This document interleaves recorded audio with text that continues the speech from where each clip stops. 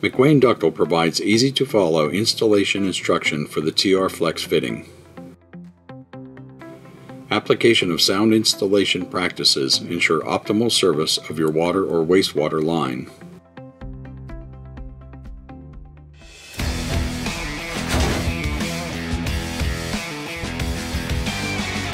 Ensure the bell socket is clean. You may use various tools such as rags, wire brushes, screwdrivers, etc. to remove dirt or debris. Removal of any ice during cold temperature installation is of equal importance.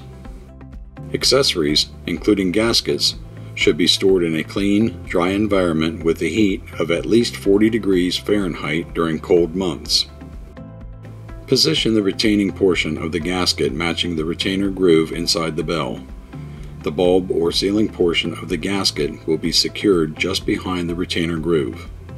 Form a loop in the gasket for small diameter pipe. Two loops for pipe sizes beginning with the number 2 and three loops for pipe sizes starting with the number 3. Loops should be adjacent or spaced as evenly as possible. Press the loop and gasket into place. Pro tip For large diameter installation, Working the last loop around the inner surface of the bell will disperse tension in the gasket, enhancing installation and seal.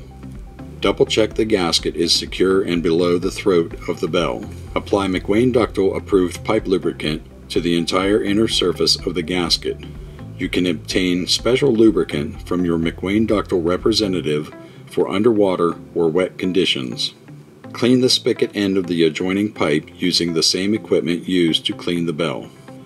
Coat the entire outer surface of the spigot back to the weld ring with a thin layer of McWane Ductile approved pipe lubricant.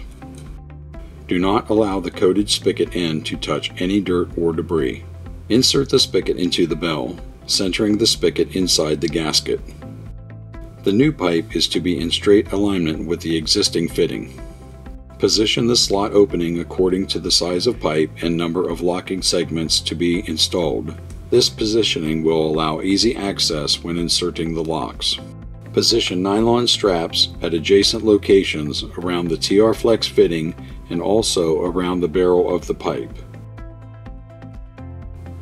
Connect the straps using come-alongs. Ratchet the fitting onto the spigot.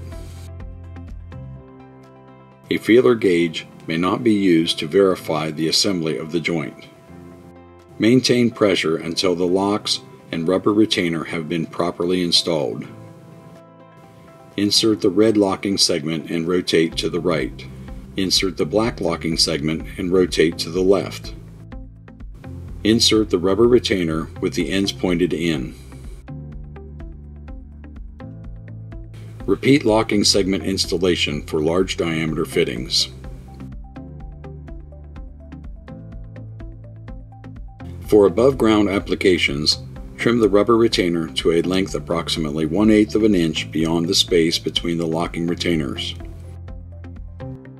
Insert the rubber retainer to the back of the socket. Pull the slack out of the joint to lock the restraint. The bell face will be beyond the two home lines on the spigot when the joint is properly assembled. Deflect the joint up to 5 degrees in any direction and backfill around the pipe and fitting to the project specifications. Do you know we provide job site product training? Contact your McWane Ductile representative to learn more. For written step by step instructions for this installation procedure, Visit McWane Ductile's online learning center at mcwaneductile.com.